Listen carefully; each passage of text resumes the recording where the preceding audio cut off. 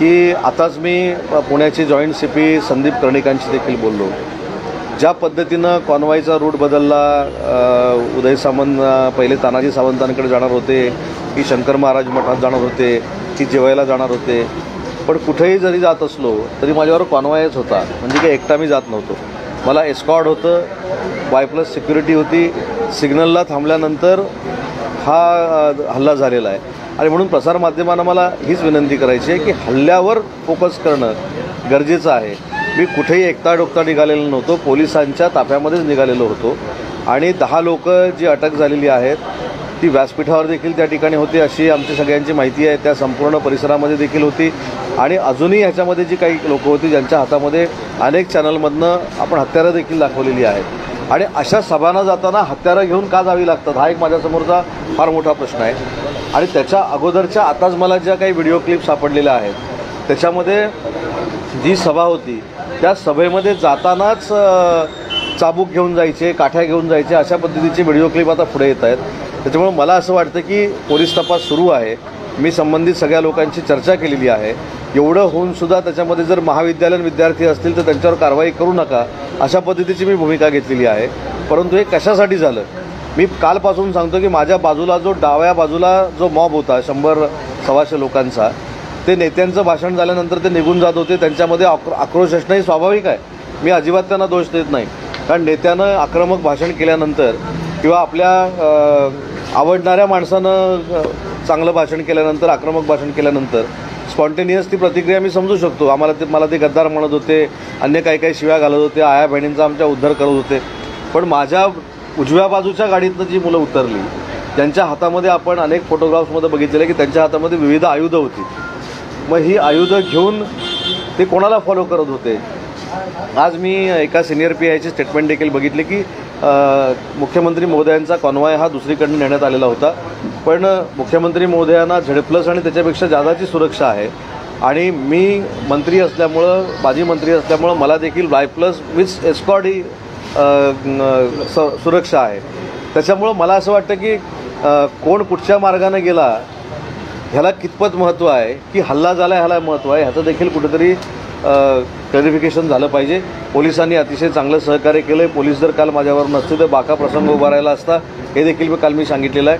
कोण अटक झालेत कोण अटक झालेली नाहीत हे माहिती नाही. परंतु महाराष्ट्रासमोर एक संभ्रम निर्माण करण्याचा प्रयत्न काही मंडळी करत आहेत कालच खासदार विनायक राऊतांनी सांगितलं की जे हल्लेखोर होते ते शिवसैनिक नव्हते.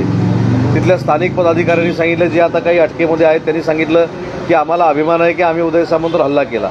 काही लोकांनी सांगितलं की आम्हाला तानाजी सावंतवर हल्ला करायचा होता. आज देसाई साहेब म्हणाले की ही उत्स्फूर्त काहीतरी प्रतिक्रिया आहे. म्हणजे नक्की त्यांच्या त्यांच्यामध्ये संभ्रम आहे. कोण म्हणतं शिवसैनिक आहेत कोण म्हणतं शिवसैनिक नाहीत. मग याचं क्लेरिफिकेशन कशात होऊ शकतं? तर पोलिसांच्या तपासात होऊ शकतं. त्यामुळे पोलिसांच्या तपासावर माझा पूर्ण विश्वास आहे. कोणाचंही राजकीय अ, कारकीर्द उद्ध्वस्त उद्ध्वस्त व्हावी असं माझं अजिबात म्हणणं नाही. पण माझी देखील राजकीय कारकीर्द उद्ध्वस्त करण्याचा कोणी प्रयत्न करू नये. आणि म्हणून काल सगळा हा प्रसंग संपल्यानंतर मी पहाटे साडेतीन वाजता एक ट्विट केलेलं आहे. आणि त्या ट्विटमध्ये असं म्हटलं आहे की तुम्ही आम्हाला गद्दार म्हणताय आम्ही शांत आहोत. तुम्ही आम्हाला बाडगे म्हणताय आम्ही शांत आहोत. तुम्ही आम्हाला आमच्या आया बहिणी विकल्या म्हणताय आम्ही शांत आहोत. आई वडील विकले म्हणताय आम्ही शांत आहोत. परंतु लोकशाहीमध्ये मला जर एखाद्या बाजूची म्हणजे बाजू पटली नाही आणि मी दुसऱ्या बाजूला गेलो हा लोकशाहीचा प्रघात आहे. आणि म्हणून लोकशाहीच्या या प्रघातामध्ये मला जर उत्तर द्यायचं असेल तर येणाऱ्या विधानसभेमध्ये तुम्ही तुमचं भूमिका मांडा. तुम्ही जे काय आक्रमक आहात तुम्ही जे काय भूमिका मांडा तिथले मतदार जे आहेत ते आम्हाला धडा शिकवतील. परंतु काल देखील एका संपर्क प्रमुखानं सांगितलं की आमदारांचं कानपाट फोडा. एवढं सोपं आहे का? आणि म्हणून आमचा देखील कोणी अंत बघू नये. आमच्याकडे देखील आक्रमक कार्यकर्ते आहेत. आम्ही देखील या संघर्षातनं कोकणातनं पुढे आलेलो आहोत. मला तर परशुरामाच्या भूमीतनं मी पुढे आलेलो आहोत. त्याच्यामुळे संघर्ष आम्हाला नवीन नाही. पण मग हे सगळं करत असताना दुसऱ्या कुठच्या नेत्याकडे बोट दाखवायचा कोणाला अधिकार नाही. हा गुंडा आहे तो गुंडा आहे तो गुंडा आहे. हे कशासाठी पाहिजे? आपण देखील आपलं स्वीकारलं पाहिजे ना. महाराष्ट्राच्या राजकारणाला एक वेगळी संस्कृती आहे. आणि महाराष्ट्राचं राजकारण कशा पद्धतीनं आहे त्याचा खुलासा देखील मला करायचा आहे. की ज्यावेळी हा प्रसंग साडेआठ वाजता साडेनऊ वाजता काही नऊ वाजता मा- कारण परत त्याच्यावरनं देखील होऊ शकतं. आठ वाजता की साडेआठ वाजता की नऊ वाजता उदय सामंत जी काय वेळ असेल ती. त्याच्यानंतर मी कोथरूड पोलीस स्टेशनला गेलो. माझ्या पूर्ण ताफ्यासहित गेलो. हे सगळं झाल्यानंतर माननीय मुख्यमंत्री मोदयांचा मला चार ते पाच वेळा फोन आला. त्यांनी मला सांगितलं की मी एका कार्यक्रमामध्ये हा कार्यक्रम झाल्यानंतर मी देखील पोलीस स्टेशनला पोहोचतोय. मी राजकीय काही प्रोटोकॉल पाळतो. मी स्वतः सी एम साहेबांना सांगितलं की आपण मुख्यमंत्री मा- महोदय आहात. आपण सगळ्यांनी मिळून माझं संरक्षण चांगल्या पद्धतीने केलेलं आहे. आपण याची इथं आवश्यकता नाही. पण जे मी राजकीय संस्कृती म्हणतो ते तुम्हाला सांगतो. तळागाळातनं माणूस जर मोठा झाला तर त्याला आपल्या कार्यकर्त्याची आमदाराची किंमत कशी असते कशी असते हे काल मला दिसलेलं आहे. त्यांना ज्यावेळी कळलं की दीनानाथ मंगेशकरमध्ये माझी मेडिकल टेस्ट होणार आहे. आणि योगायोगानं ते देखील दीनानाथ मंगेशकरमध्ये अनिल बाबर साहेबांच्या पत्नीला बघायला त्या ठिकाणी गेलेलो होतो. गेले होते. मी देखील जाणार होतो. पण या प्रसंगामुळे मला जाता आलं नाही. माझी मेडिकल टेस्ट होईपर्यंत स्वतः महाराष्ट्र राज्याचे मुख्यमंत्री तीन वाजेपर्यंत की अडीच वाजेपर्यंत हे दीनानाथ मंगेशकरला माझ्यासोबत होते. एक कार्यकर्ता म्हणून होते. आणि मला असं वाटतं की ही राजकीय माणुसकी आहे ही राजकीय संस्कृती आहे हे महाराष्ट्राला कळलं पाहिजे. पन्नास आमदार हदबल आहेत. असं अजिबात नाही. काल दुपारी जे एकनाथ शिंदेसाहेबांनी भाषण केलं ते आमच्या दृष्टीनं महत्त्वाचं आहे. त्यांनी भाषण काय केलं? तुमच्यावर कोणी टीका केली तर त्याला विकासानं उत्तर द्या. तुम्हाला कोणी शिव्या घातल्या तर त्याला तुम्ही विकासात्मक उत्तर द्या. म्हणजे एखादी व्यक्ती महाराष्ट्राचं नेतृत्व करणारी अशा पद्धतीचा संस्कार जोपासते आणि दुसरीकडे ह्याला मारा ह्याला आज कोणीतरी स्टेटमेंट काढलेली आहे. कानपाट फोडा. एवढे काही गालवर आलेत का आमच्या पन्नास आमदारांचे? आम्ही संयमी आहोत आमचा अंत देखील कोणी बघू नये. आमच्याकडे देखील अनेक गोष्टी आहेत. शेवटी राजकारणामध्ये काहीतरी संस्कृती आहे. आणि हेच वाक्य परवा संजय राऊत साहेबांच्या मुलाखतीतनं उद्धव साहेबांनी सांगितलं.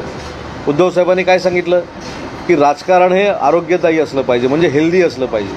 पण आज आमचं आरोग्य बिघडवण्यासाठी आम्हाला तोडण्यासाठी आम्हाला ठार मारण्यासाठी नियोजन जे होतं आहे त्याच्यामध्ये देखील सगळ्या नेतेमंडळींनी लक्ष घातलं पाहिजे. आज ज्यांच्यावर गुन्हे दाखल झालेत त्यांच्या घरातल्या लोकांची परिस्थिती काय? ठीक आहे आज मी त्याच्यातनं सही सलामत बाहेर पडलो. पण ज्यांच्या सांगण्यावरनं ज्यांच्या भाषणांवरनं प्रत्येकाच्या घरामध्ये जी परिस्थिती आलेली आहे पंचवीस लोकांच्या वीस लोकांच्या की दहा लोकांच्या त्यांना आता सोडवायला कोण जाणार आहे? त्यांच्या हातात दगड दिलात. त्यांच्या हातामध्ये हॉकी स्टिक दिलीत. त्यांच्या हातामध्ये हत्यारं दिलीत. आता त्यांना सोडवायला कोण जाणार आहे? म्हणून देसाई साहेबांनी भाषण करून सांगणं की ही स्पॉन्टेनियस प्रतिक्रिया आहे. आता पुढं काय? अनेक नातेवाईकांचे आता मला फोन येतात कारण मी त्या जिल्ह्याचा संपर्क प्रमुख होतो. जे ह्या सगळ्या प्रोसेसमध्ये माझ्या हल्ल्यामध्ये होते त्यांना मी देखील राजकारणामध्ये आणलेलं होतं. आज त्यांच्या कुटुंबातले मला फोन करतायत की एकदा शेवटची चूक झाली असं समजा आणि हे माफ करा. आता काय हे गेले नाहीत? जे इथनं मुंबईतनं भाषणं करतायत. मुंबईतनं सांगतात ते त्यांच्या घरी का गेले नाही त्याच्यामुळे मला असं वाटतं की जे गुन्हेगार आहेत त्यांच्यावर तर कारवाई झाली पाहिजे. परंतु जो संभ्रम निर्माण करण्याचा प्रयत्न करतो आहे ते मला आपल्याला देखील विनंती करायची आहे. की जो हल्ला झाला त्याच्यातनं मी वाचलो. हे महत्त्वाचं आहे की मी तानाजी सावंतांकडे कारण पूर्ण कॉन्वॉय होता सगळे पोलीस होते. चार एस पी ओ आहेत ते एस पी ओ होते. माझा प्रायव्हेट बॉडीगार्ड एक होता. समोरच्या जीपमध्ये पाच सहा कारवाईन धरलेले पोलीस होते. त्यावेळी पोलिसांच्या ताफ्यामध्येच मी चाललेलो होतो. एकटा दुकटा कुठं मी चाललेलो नव्हतो. आणि माझा पोलिसांवर पूर्ण विश्वास आहे. पण याच्यापुढे आम्हाला देखील आमचा संयम सोडायला कोणी लावू नये ही माझी आपल्या माध्यमातून विनंती आहे. पण पोलिसांनी आपल्याला मार्ग बदलायला सांगितलं होतं का? अशी आपल्याला कल्पना दिली होती का? आणि तरी आपण मला त्याच्यामध्ये एक सिस्टीम अशी असते की हा कॉन्वाय चार गाड्यांचा असतो. पहिल्या गाडीच्या नंतर जी गाडी असते त्याच्यामध्ये मी बसलेला असतो. मी काय पुढच्या गाडीतल्या पोलिसाला किंवा ह्याला सांगायला जात नाही की हा मार्ग इकडनं न्या इकडनं न्या तिकडनं न्या. एकदा लोकेशन माहिती असल्यानंतर त्यांनी कुठून न्यायचं? हे एस्कॉर्डनं ठरवायचं आहे. तरी देखील त्यांचा दोष नाही. कदाचित पहिला कॉन्वाय पुढे गेल्यानंतर कन्फ्युजनमध्ये हे झालं असेल. मला पोलिसांना दोषच द्यायचा नाही. परंतु हल्ला झाला हे तर नक्की आहे ना. तुम्ही सगळ्यांनी बघितलं आहे सगळ्या टी व्ही चॅनल्सनी दाखवलेला आहे. आणि कशा पद्धतीनं झाला तो जो प्रसंग बारा तेरा मिनिटाचा होता सिग्नल पडलेला होता मी थांबलेलो होतो ट्रॅफिक जाम झालेलं होतं. आपण देखील कल्पना करून बघा की अशा प्रसंगामध्ये जर आपण असतो तर ह्या बाकीच्या शंकांपेक्षा आपला जीव वाचला हे माझ्या दृष्टीनं महत्त्वाचं आहे.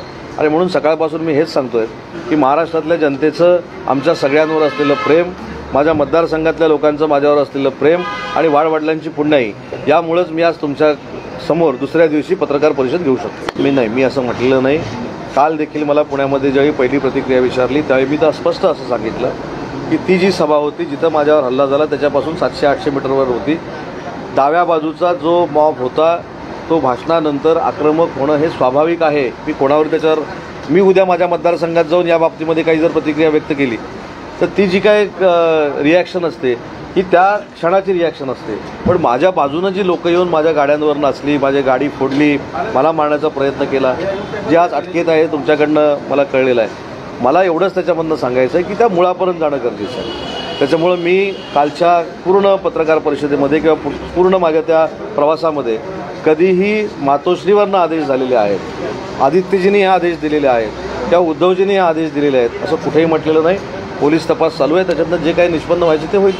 शिवसेनेच्या नेत्यांकडनं आता जे काही प्रतिक्रिया येतात म्हणजे कालपासून जर पाहिलं तर त्या तुमच्या हल्ल्यानंतर अजून काही हल्ले होतील असं संकेतच दाखवत आहेत किंवा त्याचं उचलवण्याचा प्रयत्न देखील होतो.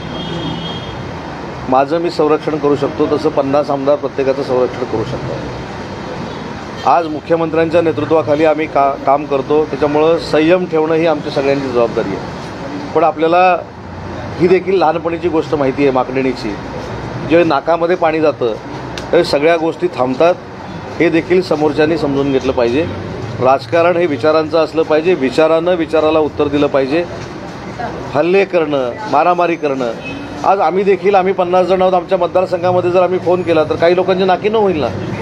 त्याच्यामुळं माझं म्हणणं असं आहे की कोण चिथवतं आहे कोण नाही चिथवतं ह्याच्यामध्ये फार मोठं भूषण नाही आहे. आज आपल्याकडनं सगळं गेल्यानंतर आपल्या जर आपल्याला जर पक्ष किंवा आपला गट आपली संघटना परत जर प्रस्थापित करायची असेल तर संयम असणं गरजेचं आहे. ठीक आहे आम्हाला तुम्ही गद्दार म्हटलेलं आहे.